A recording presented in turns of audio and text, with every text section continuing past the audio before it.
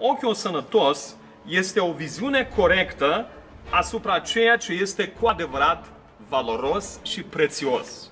Ochiul sănătos, deci, despre care vorbește Domnul Isus, este o viziune corectă asupra valorii tuturor lucrurilor. Omul care are un ochi sănătos, îl va vedea pe Dumnezeu cu mult mai de preț decât banii. Și va vedea comorile cerești cu mult mai valoroase decât cele pământești. Și strângerea comorilor cerești, mult mai importantă decât strângerea comorilor pământești. Atunci când aceasta este viziunea noastră asupra realității, asupra lucrurilor, atunci ființa noastră va fi plină de lumină.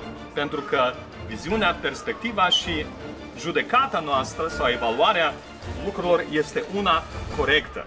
Și respectiv, tot trupul, toată ființa noastră va fi plină de lumină.